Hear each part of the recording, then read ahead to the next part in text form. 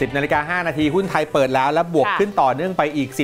12.5 จุดนะครับดัชนีตอนนี้อยู่ 1,529.76 จุด ดูหุ้นที่เป็น5อันดับแรก ถึงแม้ว่าจะเพิ่งจะ 5 นาทีแต่ก็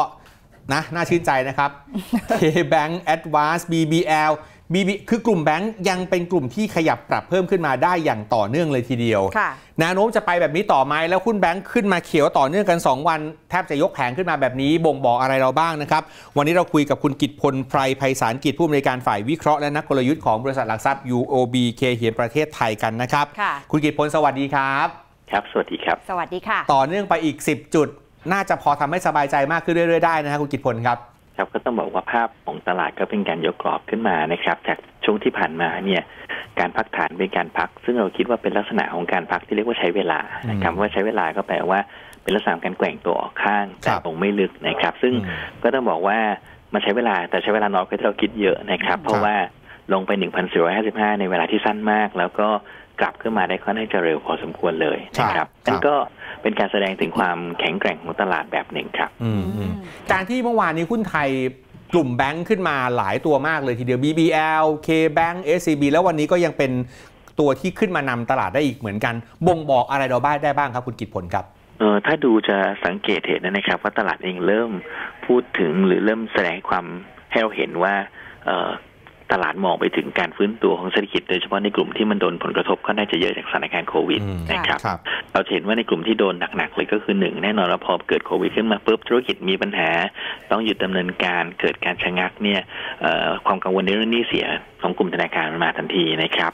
ครับดังนั้นเราก็จะเห็นว่าคนที่กระทบหนักๆก็จะเป็นทั้งกลุ่มธนาคารอืมกลุ่มของท่านที่เกี่ยวกับการท่องเที่ยวนะครับ ที่เกี่ยวกับนักท่องเที่ยวต่างประเทศมา ธุรกิจที่อยู่ในเมืองห้างสินค้าห้างร้านต่างๆนะครับ แต่ว่าเราก็จะเห็นว่าในช่วงที่ผ่านมานะครับ มันเริ่มเป็นภาพที่คนแสดงให้เราเห็นตลาดแสดงให้เราเห็นว่า เอ๊ะเขาเริ่มเชื่อแล้วนะว่าธุรกิจ ในปีนี้เนี่ยสถานการณ์โควิดเองมันดีขึ้นนะครับครับ ไม่ว่าจะเป็นเพราะวัคซีนหรือว่าเพราะสถานการณ์ต่างๆมันเริ่มผ่านไปก็ดี เราจะเห็นว่ากลุ่มธนาคารฟื้นตัวขึ้นมาแล้วนะครับจากจุดต่ำสุดเนี่ยต้องถือว่าน่าจะร้อยเปอร์เซ็นได้แล้วนะครับอืมในแต่ละตัวแล้วก็ขณะเดียวกันเนี่ยเอ่อ กลุ่มของทางด้านท่องเที่ยวก็ฟื้นขึ้นมาได้ดีระดับหนึ่งด้วยเลยนะครับ ถึงแม้ว่าช่วงที่ผ่านมาอาจจะดูเหมือนไม่ค่อยไปไหนแต่จริงๆแล้วเนี่ยก็ต้องบอกว่าเป็นการยกฐานขึ้นมาเรื่อยๆเช่นเดียวกันนะครับครับในกลุ่มที่เกี่ยวกับพวกห้างสินค้าเองก็เห็นการฟื้นตัวขึ้นมาได้ค่อนข้างจะดีครับอืมค่ะ เพราะฉะนั้นนักลงทุนที่ถือในกลุ่มของแบงก์อยู่นะคะ จังหวะแบบนี้คือขายออกมาไหมคะคุณกิตพลหรือว่าเราประเมินราคาต่อยังไงบ้างอะค่ะ เรายังเห็นอัพไซด์ในกลุ่มนี้นะครับค่ะเหตุผลก็คือว่าถ้ามาดูแล้วกลุ่มธนาคารพาณิชย์วันนี้หลายตัวเองก็ยังต้องบอกว่ายังต่ำกว่าบุ๊กแวลูหรือต่ำกว่ามูลค่าทางบัญชีอยู่นะครับ แล้วก็ ภาพของผลประกอบการในเมื่อเราเห็นทิศทางของกำไรเอ่อต่ำสุดไปแล้วของปีที่แล้วในไตรมาสสี่แล้วก็น่าจะดีขึ้นในปีนี้ซึ่งน่าจะเป็นการดีขึ้นเกือบจะตลอดทั้งปีเมื่อเทียบกับปีก่อนเนี่ยก็ต้องบอกว่าโมเมนตัมของผลประกอบการเองก็ค่อนข้างจะเป็นใจให้กลุ่มนี้เนี่ยยังมีโอกาสที่จะฟื้นตัวนะครับค่ะเพียงแต่ว่าถ้าสมมุติว่าใครมีอยู่ เราคงจะแนะนำถือในกลุ่มตัวหลักๆนะครับแต่ว่าถ้าใครจะเรารู้สึกว่าเอ๊ะตรงนี้อยากจะซื้อยังไม่มีแบงค์เลยนะครับค่ะก็อาจจะต้องมองตัวที่มันยังขึ้นน้อยอยู่หน่อย หรือว่ายังรายการอื่นเช่น TMB Tisco ตรงเนี้ยครับอืมครับค่ะปัจจัยต่างประเทศเห็นวันนี้มีความมั่นใจเกี่ยวกับเรื่องของมาตรการกระตุ้นเศรษฐกิจของสหรัฐ 1.9 ล้านล้านบาทมากขึ้นกว่าเดิม น่าจะเป็นผลบวกและส่งให้หุ้นไทยไปต่อได้อีกแรงหนึ่งด้วยไหมครับครับต้องบอกว่าตรงนี้เป็นภาพที่บวกกับหุ้นทั่วโลกนะครับ เนื่องจากว่าตัวของการคาดหวังในมาตรการกระตุ้นเศรษฐกิจของสหรัฐเองเนี่ย เอ่อแล้วก็จริงๆต้องบอกว่าไม่ใช่แค่สหรัฐหรอกครับ มาตรการกระตุ้นเศรษฐกิจของธนาของประเทศต่างๆ ที่ทำทั่วโลกเนี่ยตรงเนี้ยมันจะผลักให้เงินเฟ้อมานะครับครับ ซึ่ง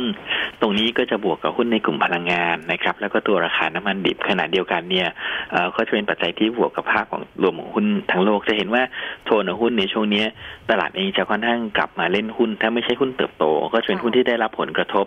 กับ สถานการณ์โควิดเยอะ แต่จะเห็นว่ามีกลุ่มหนึ่งที่ตลาดแทบจะหลับตาไม่มองมาเลยนะครับอืมคือหุ้นในกลุ่มปลอดภัยนะครับอ๋อคือหุ้นในกลุ่มพวก defensive เพราะฉะนั้นแสดงว่าโทนของตลาดเนี่ยตราบใดที่เรายังไม่เห็นหุ้นพวก defensive มา ก็แสดงว่าตลาดยังค่อนข้างเชื่อในเรื่องของประเด็นการฟื้นตัวครับอืมค่ะครับในมุมของ UOB k เฮียเนี่ยตอนนี้มีหุ้นเด่นอะไรที่ที่แนะนำบ้างเมื่อสักครู่เราลงไปในส่วนของกลุ่มแบงค์แล้วนะคะ แต่มีกลุ่มไหนหรือว่าตัวไหนที่แนะนำเป็นพิเศษไหมคะ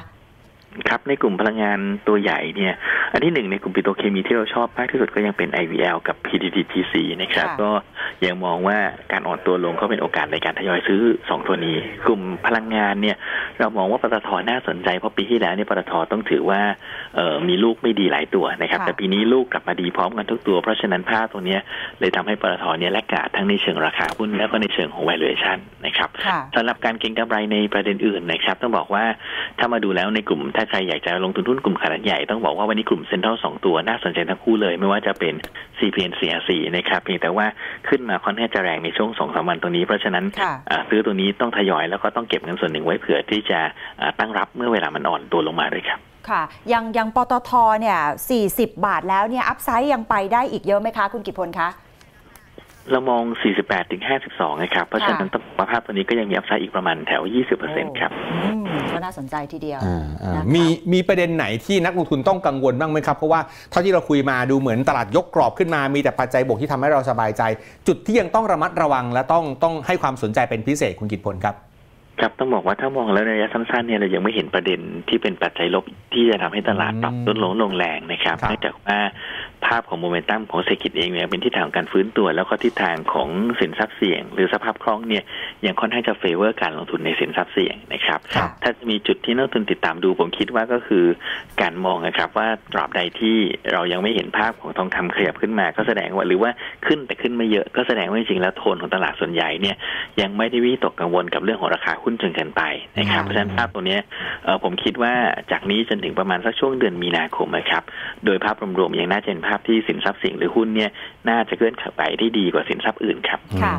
จะอีกวันนี้อีก 2 วันนะคะวันที่ 11นะอ่าวันที่ 11เนี่ยหุ้น OR จะเข้ามาเทรดแล้วเนี่ยนะคะ ตรงนี้เราประเมินทิศทางยังไงบ้าง แล้วก็แนะนำนักลงทุนยังไงดีคะสำหรับ OR เนี่ยค่ะครับก็ต้องบอกว่ามีหลายกระแสมากเลยนะครับ ครับก็บอกว่านักลงทุนรายย่อยจองได้เยอะค่ะเดี๋ยวเจอขายก่อนทำให้ลงนะครับอ่า บางคนก็จะบอกว่าเนี่ยถึงแม้จะจองได้เยอะ แต่ทุกคนเนี่ยมีคนละสี่พันห้าพันนะเพราะเพราะฉะนั้นไม่มีใครมีเป็นแสนเป็นล้านอย่างเงี้ยลงลงยากก็ต้องบอกว่าไม่รู้ใครจะถูกนะครับ แต่ว่า ค่ะถ้าเรามองมามองในเชิง valuation ก็คือว่าเราให้ธุรกิจของพลังงานที่เป็นปั๊มน้ำมันพวกเนี้ยสัก ซึ่งเป็น 70%ของธุรกิจ OR เนี่ยที่ 14 19 เท่าค่ะส่วนธุรกิจค้าปลีกเนี่ยสมมติเราให้สักประมาณ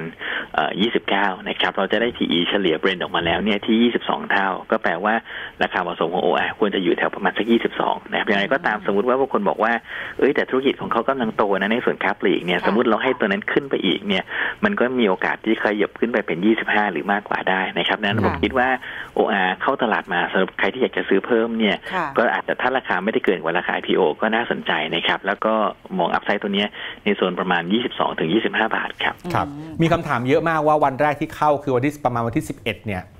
คำถามของหลายหลายคนก็คือว่า มันจะคึกคักไหมมันจะอะไรยังไงไหมคุณกิตพลประเมินว่าเอาในแง่ของความคึกคักนะครับ OR จะเป็นยังไงบ้างครับก็ต้องบอกว่าเอ่อจะคึกคักครับ แต่ว่าอาจจะไม่มากเพราะหลายท่านอาจจะไหว้เจ้ากันอยู่นะครับเพราะว่าเช้าวันนั้นเป็นวันตรุษจีนใช่พอดีใช่นะครับใช่ไม่แต่ไม่แน่ว่าบางคนอาจจะรีบไหว้แต่ในเช้าจะได้มาเฝ้าตลาดต่อ ก็ ต้องบอกว่าเอ่อวันนั้นผมคิดว่าก็น่าจะมีความคึกคักระดับหนึ่งนะครับอืมเพราะว่าค่ะสำหรับนักลงทุนสถาบันเองเนี่ยก็จะมีบางส่วนที่อาจจะต้องสวิสหุ้นโดยการขายบางตัว แล้วก็สวิสมาเป็น OR ที่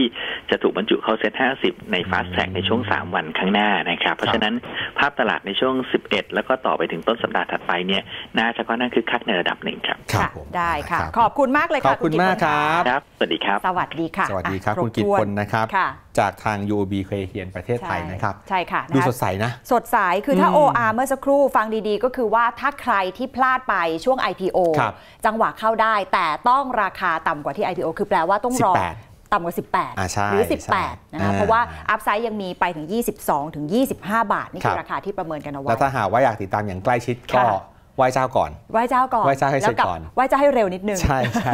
เรามาลุ้นแล้วกลับมา OR กันนะครับ